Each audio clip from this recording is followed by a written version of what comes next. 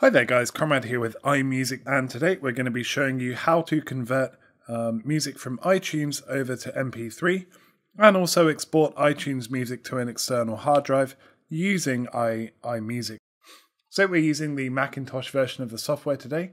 If you don't already have it, you can download it from the website on your screen now.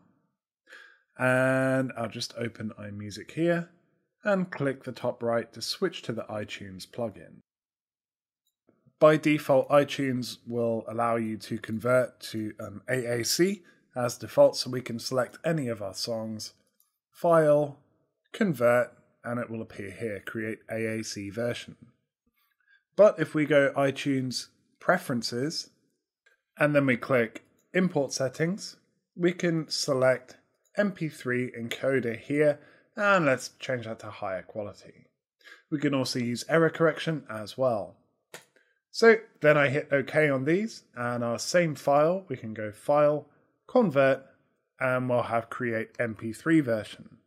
So if I create this MP3 version here, it will be added to the library. We can, uh, that's all done now. Uh, we can also convert um, songs in a folder or on a disk.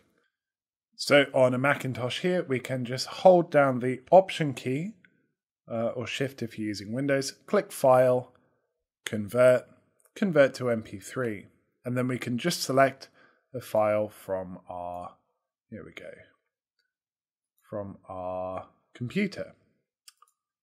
So uh, that's how you convert songs to MP3 using iTunes. Uh, now we're going to show you how you can export files to um, MP3 on an external drive. As you'll see, I've got an external drive plugged in here. I'm going to go back to iMusic. And we'll just extend that a little bit there. So all we need to do here is select whatever songs we want to export. So I'm just going to take this uh, this album here by James Blake, and we can just go to the top right here and click export.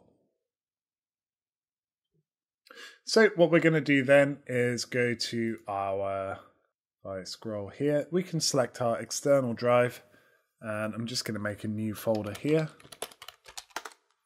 and we can export that there. So if I hit save,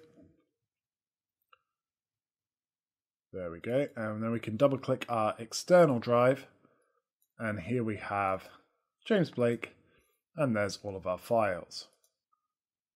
So that's how you convert iTunes music to MP3 and also how you export iTunes music to an external hard drive using iMusic. And thank you very much for watching. We'll be speaking to you next time.